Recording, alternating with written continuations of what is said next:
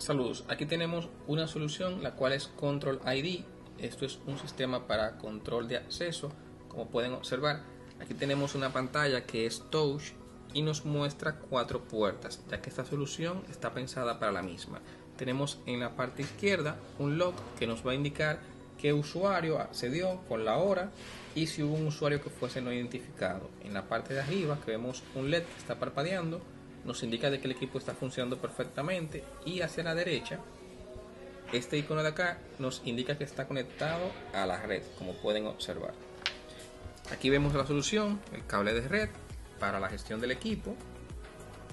Tenemos la alimentación el magneto tenemos una, un power o fuente Andrickson donde pueden apreciar el mismo y le tenemos un respaldo de batería de este lado tenemos un ID Pros, que es eh, un, bueno, es un esclavo para utilizarlo con tarjeta de proximidad y este es un ID Boss.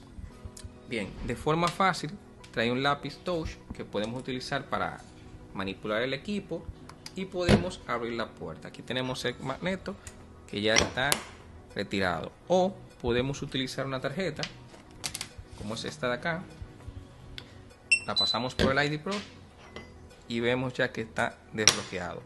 En la pantalla vamos a ver el acceso que se realizó y vamos a utilizar una tarjeta que no está registrada para que vean el uso.